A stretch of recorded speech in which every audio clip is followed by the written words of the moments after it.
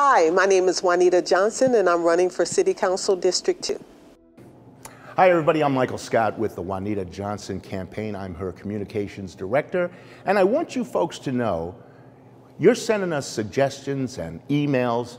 We are reading them, and I'm going to address one of them right now.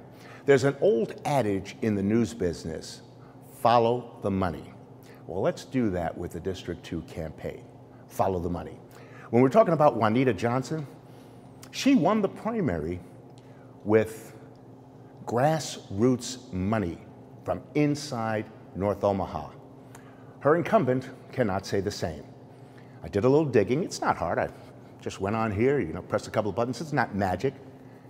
His top three donors are bankers, former GOP politicians, and a developer.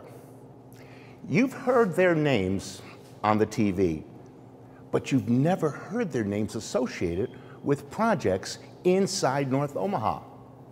When it comes to Juanita Johnson, she wants District 2 to get its share. Case in point, the incumbent recently voted to okay a quarter million dollars for bike trails in the city of Omaha. At the same time, in North Omaha, there are not adequate sidewalks for kids to walk to school. It is not hard to wonder if the incumbent's interests are in line with the people living in his district. I'm Michael Scott.